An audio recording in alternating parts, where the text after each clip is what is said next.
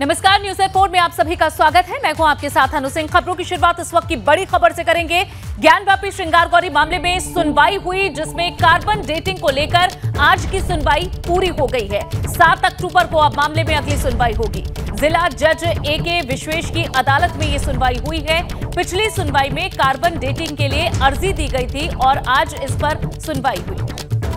मांग है कि कोई भी, जो भी वैज्ञानिक टेस्ट कराइए जिसमें किसी प्रकार का शिवलिंग को या उस आस्था को, उस आराध्य को क्षतिग्रस्त न हो, नुकसान न पहुँचे, ऐसा जाँच करिए। तमाम वैज्ञानिक विधि है और न्यायालय, ये, न्यायालय को फैसला लेना है।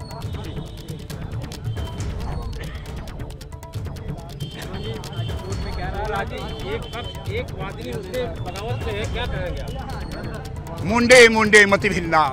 यह तो हिंदू समाज यही तो अभिशाप है। हम अभिशाप, यही कारण तो हिंदू दशा की ये है। आज स्पष्ट हो गया माननीय जिला जज में जो है, उन्होंने जो हरिशंकर जैन जी, विष्णु शंकर जैन जी जो दाखिल किए थे, स्पष्ट था कार्बन डेटिंग के अतिरिक्त ए या और वैज्ञानिक प्राण जो माननीय न्यायालय उपयुक्त समझे।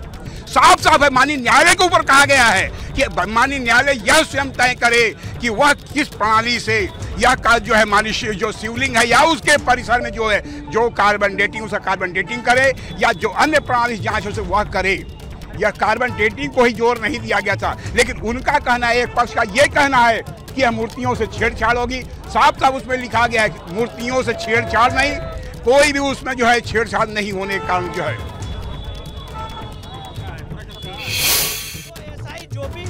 प्रक्रिया हो सकती है, उसमें अडॉप्ट करेगा और वो प्रक्रिया अडॉप्ट करके कोर्ट को रिपोर्ट सबमिट करेगा। कार्बन डेटिंग और अदरवाइज़ लिखा है, जहाँ कार्बन डेटिंग हो सकती है, वहाँ कार्बन डेटिंग होगी। जहाँ दूसरा मेथड अडॉप्ट किया जा सकता है, वहाँ दूसरा मेथड अडॉप्ट किया जाएगा। जीपीआर सर्वे की भी मांग की है। तो जो समाज में भ्रम फैलाया गया है, मैं आप लोग से हाथ जोड़ के निवेदन करता हूँ, इस भ्रम को दूर करें। कार्बन डेटिंग शिवलिंग की नहीं मांगी कार्बन डेटिंग और अदरवाइज़ लिखा है। तो जो एक्सपर्ट्स वहाँ पे जाएँगे, वो पहले असरटेन करेंगे कि किस माध्यम से तारीख पर क्या होना है? सात अक्टूबर को है। माननीय न्यायालय अपना ऑर्डर सुनाएगा। ऑर्डर सुरक्षित रख लिए वन टेन पे भी कुछ हुआ क्या? पर। ये एएसआई नहीं नहीं सिर्फ़ और सिर्फ़ ही सिर्फ़ और सिर्फ़ आई की जाँच की मांग वाली एप्लीकेशन पे सात अक्टूबर को माननीय न्यायालय अपना फैसला सुनाएगा। उसमें सात अक्टूबर को सुनवाई होगी।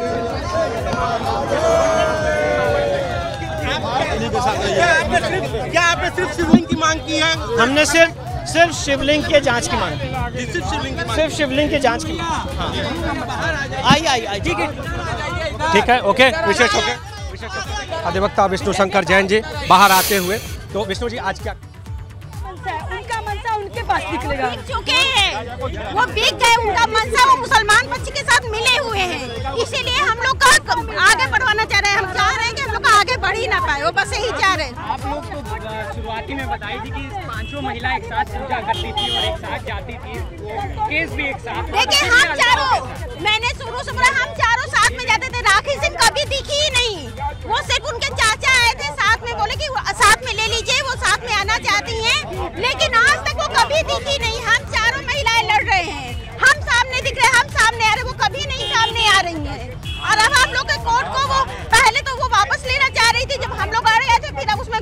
किसी तरह बस इसको चाह रही है कि हम लोग का केस आगे बढ़ने न पाए। फल पकाए हम लोग खाने के लिए दिल्ली से आ जाएँगी वो। क्यों दिल्ली से आएँगी अगर है तो वो सामने क्यों नहीं आ रही है? हम उसको चैलेंज देते हैं हम लोग चारों बहने फेस कर रहे हैं। हम लोग बनारस में सारा हम लोग विड्रॉ कर रहे हैं तो राखी सिंह कहाँ बैठी है? सामने आए ना? उन सामने आए वो हमारे। शंकर जी का पूजा होवे नहीं करता। हाँ। कहाँ से आएँगे? उसका फल उसको बहुत मिलेगा तुरंत मिलेगा। नहीं हम लोग वो कमज़ोर कर रही है। कभी विद्रोह कर रही है। केस को?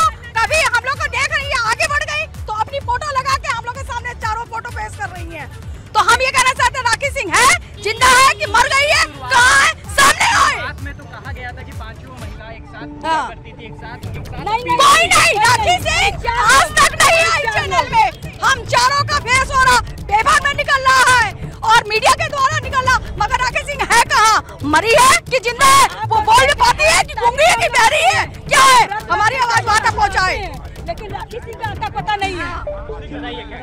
राखी सिंह अपना केस विड्रॉ कर चुकी है हम चारों से। हम चार लोग एक तरफ़ है राखी सिंह अपना अलग केस लड़ रही हैं। हम लोग के केस में राखी सिंह से कोई, मतलब नहीं कोई मतलब नहीं है वो। मतलब अभी आज का जो बहस हुई है उससे पता चल रहा है कि राखी इन्वेस्टिगेशन मांगा गया है और उसमें सजेशन में कार्बन डेटिंग एक मेथड हमने सजेस्ट किया है। अब इसके expert archaeological survey of India है वो आएगी अपनी बात वो रखेगी और अपने हिसाब से इसका सर्वे करेगी। वन टेन पे आज सुनवाई नहीं हुई। माननीय न्यायालय ने वन टेन की सुनवाई के लिए सात अक्टूबर फिक्स किया सात अक्टूबर को माननीय न्यायालय अपना ऑर्डर सुनाएगा एएसआई की एप्लीकेशन पे और वन टेन की एप्लीकेशन की एप्लीकेशन को जो ऑर्डर सुनाएगा वो फैसला सुरक्षित रखा वो फैसला सुरक्षित रखा है और सात अक्टूबर को एएसआई के इस एप्लीकेशन पे फैसला आएगा।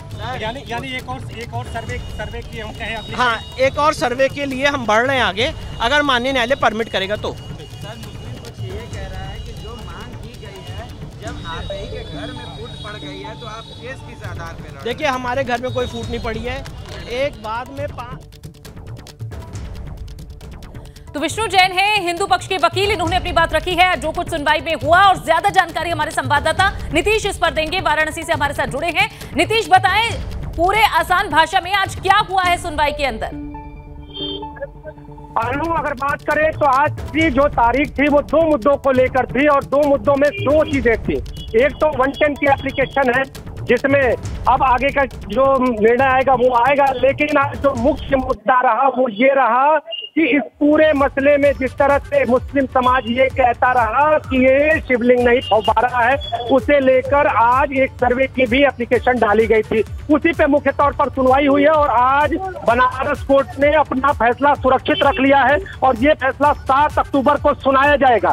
साफ़ तौर पर विष्णु शंकर जैन ने कहा कि जिस तरह से तमाम तरह की बातें की जा रही है तो हम सिर्फ़ और सिर्फ़ कार्बन डेटिंग की मांग नहीं कर रहे हैं, बल्कि जिस भी तरह से सर्वे कराया जाए, यानी जो भी वैज्ञानिक तरीका हो, उसको अपनाकर सर्वे कराया जाए और जो समक्ष लगातार भ्रम को पूरी तरह से स्पष्ट हो जाए कि वो कोई और चीज़ नहीं, कोई फवारा नहीं, बल्कि शिवलिंग ही है तो सात अक्टूबर की तारीख वो तारीख होगी जिस पर फिर से एक बार सर्वे होगा या नहीं, ये स्थिति स्पष्ट हो जाएगी, क्योंकि पिछला सर्वे हुआ था और उसके बाद एक और सर्वे, हालाँकि ये वैज्ञानिक सर्वे होगा, लेकिन एक और सर्वे की ओर कदम बढ़ता हुआ हिंदू समाज की ओर से और सात अक्टूबर का अब सबको इंतज़ार होगा। वन टेन की एप्लीकेशन पर भी अगले सात अक्टूबर को सुनवाई होगी, लेकिन आपको बता दूँ इस एप्लीकेशन का जो पहला बिंदु था उस पर कोर्ट ने आज फैसला सुरक्षित रख लिया है। इसके साथ ही आपको बता दूँ कि हिंदू पक्ष जिस तरह से लगातार खबरें एबीपी गंगा भी जनता को बता रहा था कि दो धड़, दो धड़ों में बढ़ता हुआ नज़र आ रहा है तो राखी सिंह के जो अधिवक्ता है उन्होंने इस सर्वे की मांग को कहीं ना कहीं ठुकराया और उसका विरोध कोर्ट में भी जताया। और उसके बाद जो यहाँ की वादीगण है, उन्होंने उनके विरोध पर अपना विरोध जताया और साफ़ तौर पर ये कहा कि हम किसी भी स्थिति से वैज्ञानिक तरीका जो भी हो, वहाँ पर मांग रख चुके हैं कि वो जिस भी वैज्ञानिक तरीके से हो, उस परिसर का सर्वे कराया जाए और जो शिवलिंग मिला है, उसकी स्थिति, जो स्थिति है, वो स्पष्ट हो जाए। तो अब सात तारीख का इंतज़ार होगा अनु, और सात तारीख को फिर एक सर्वे होगा या नहीं होगा, या आगे की तस्वीर क्या होगी, पूरी तरह से स्पष्ट हो जाएगा। अनु? ठीक ठीक है, नीतीश, जानकारी के लिए शुक्रिया आपका। तो ये इस वक्त बड़ी खबर मिली है, जहाँ सुनवाई आज पूरी हुई है आज की, और 7 अक्टूबर को अब मामले की अगली सुनवाई होगी, जहाँ जिला जज ए के विश्वेश की अदालत में सुनवाई हुई है, और साथ ही हिंदू पक्ष के जो वकील हैं, विष्णु जैन, उन्होंने आज की सुनवाई पर क्या कहा है, ये भी सुनिए। आज हमने इस मामले में एप्लीकेशन दी थी कि जो वहाँ पे कमीशन की कार्रवाई के दौरान 16 मई को शिवलिंग मिला है, उस शिवलिंग की साइंटिफिक जाँच की जाए और एएसआई के द्वारा एक कमीशन जारी किया जाए। ऑर्डर 26 रूल 10 ए में ये सीपीसी में कोर्ट को पावर है कि वो साइंटिफिक इन्वेस्टिगेशन जारी कर सकता है। हमारी एप्लीकेशन में स्पष्ट रूप से लिखा है, कार्बन डेटिंग या अन्य प्रक्रिया जो भी एएसआई अडॉप्ट करना चाहे तो इस चीज़ के लिए एएसआई एक्सपर्ट है। तो हमने माननीय न्यायालय से ये आवेदन किया है कि एविडेंस एक्ट की सेक्शन 45 के तहत माननीय न्यायालय एक्सपर्ट ओपिनियन बुलाए और और इसके लिए कोर्ट एक्सपर्ट कमीशन बैठा सकता है। इस पर माननीय न्यायालय सात अक्टूबर को अपना फैसला सुनाएगा हमारी एप्लीकेशन चलिए तो अब सात अक्टूबर का इंतज़ार करना होगा। मामले में अगली सुनवाई होगी। बहरहाल, खबरों में आगे बढ़ते हैं एक बड़ी खबर प्रयागराज से, जहाँ अपराधी को पकड़ने गई पुलिस पर ही हमला हो गया। ग्रामीणों ने दरोगा का घेराव किया। यहाँ पीआरबी 112 में तैनात दरोगा पर हमला बोल दिया गया ग्रामीणों के द्वारा। हमले का वीडियो अब सीसीटीवी में कैद हुआ है। खुलदाबाद थाना क्षेत्र के गाड़ीवान टोला का ये मामला है, जहाँ ग्रामीणों ने दरोगा का ही घेराव कर लिया पीआरबी 112 में तैनात दरोगा पर हमला बोल दिया गया। ये तस्वीरें भी अब सीसीटीवी में कैद हो चुकी हैं। तस्वीरें प्रयागराज की, जहाँ अपराधी को पकड़ने के लिए पुलिस पहुँची थी और इस दौरान दरोगा का ही घेराव कर लिया गया। मोहम्मद मोइन हमारे संवाददाता जुड़े हैं। मोइन, क्या स्थिति है अब इस मामले में? देखिए, ये प्रयागराज शहर के खुलदाबाद थाना क्षेत्र के गाड़ीवान टोला मोहल्ले का मामला है, जहाँ पर दो पक्षों में मारपीट की सूचना पर पीआरवी वैन पहुँची हुई थी, उसमें एक दरोगा थे और दोनों पक्ष आपस में झगड़ा कर रहे थे। जब पुलिस वहाँ पर पहुँची तो एक पक्ष ने पुलिस के साथ ही उलझना शुरू कर दिया और जो दरोगा गए हुए थे, उनको जो है वो एक प्री प्लांट के तहत जो है उनके साथ हाथापाई की गई उनकी नेम प्लेट तोड़ दी गई और उन जिस तरीके से वार किया गया उससे उनके चेहरे पर चोट आई है उनका शुरुआती इलाज कराया गया है और ये पूरी की पूरी घटना सीसीटीवी में कैद हो गई है और पुलिस का कहना है कि इस मामले में एफआईआर दर्ज कर ली गई है और इस मामले में जो भी लोग दोषी पाए जाएँगे चाहे जिनकी तस्वीरें सीसीटीवी में हो और जो बाकी दूसरे लोग थे उन सभी की पहचान कर उनकी गिरफ्तारी की जाएगी और सभी के खिलाफ कड़ी कार्रवाई की जाएगी। क्या मोइन उस अपराधी को पकड़ा गया है जिसे पकड़ने के लिए पुलिस, पुलिस की टीम पहुँची थी? देखिए सीसीटीवी फुटेज के आधार पर पुलिस ने जो है वो कुछ आरोपियों की पहचान कर ली है कुछ की पहचान होनी बाकी है और पुलिस अफसरों का कहना है कि इस मामले में जल्द ही गिरफ्तारी की जाएगी देखना होगा पुलिस की कार्रवाई कितनी जल्दी पूरी इस मामले में हो पाती है। शुक्रिया जानकारी के लिए। और अब खबरों में आगे बढ़ेंगे कानपुर देहात से खबर, जहाँ हाईवे पर जन्मदिन मनाते युवकों का वीडियो वायरल हुआ है। नेशनल हाईवे पर जन्मदिन मनाते हुए कुछ युवक दिखे। बारा ज़ोर टोल प्लाजा के पास जन्मदिन का केक काटते हुए युवक तस्वीरों में कैद हुए। यहाँ हाईवे पर जन्मदिन की पार्टी दे रही है। साफ़ तौर पर मौत को दावत। अकबरपुर कोतवाली के बारह जोड़ टोल प्लाजा का ये मामला है, जहाँ हाईवे पर किस तरह से केक काटा जा रहा है, ये आप देख सकते हैं। ऐसे में कोई बड़ा हादसा हो सकता था।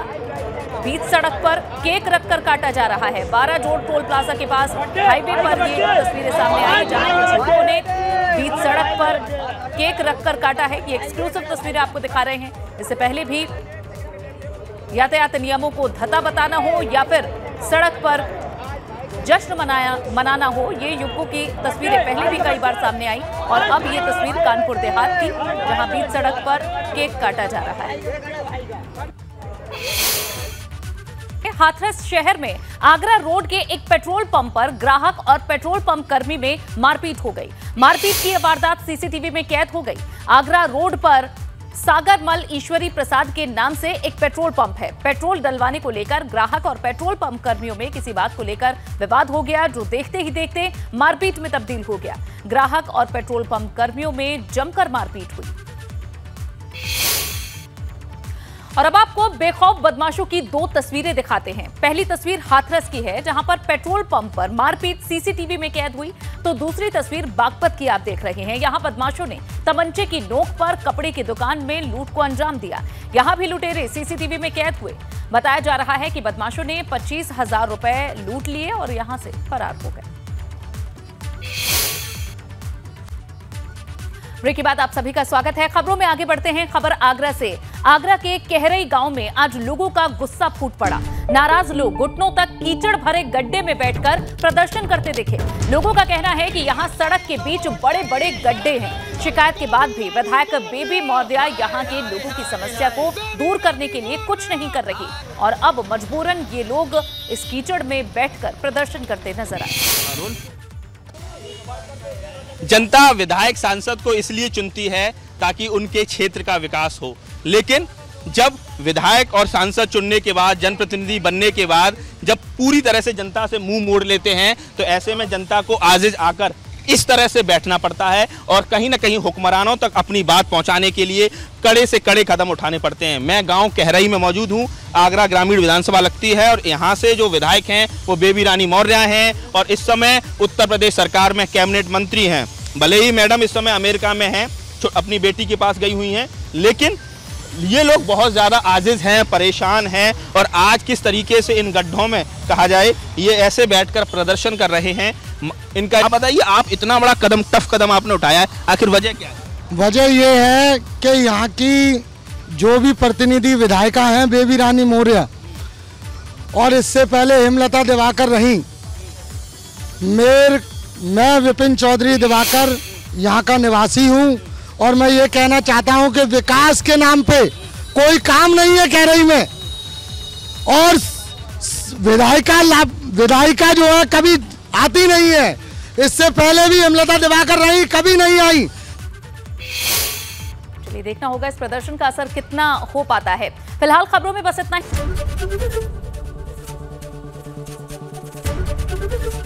एबीपी गंगा खबर आपकी जुबा आपकी।